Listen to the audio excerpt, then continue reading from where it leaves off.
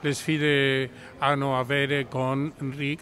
eh, ripensare le strutture del turismo, perché il turismo non può avere una recuperazione facendo lo stesso che ha fatto prima. C'è una sfida importante con la sostenibilità, con il cambio climatico, con la situazione economica, con l'energia e tutto questo deve adattarsi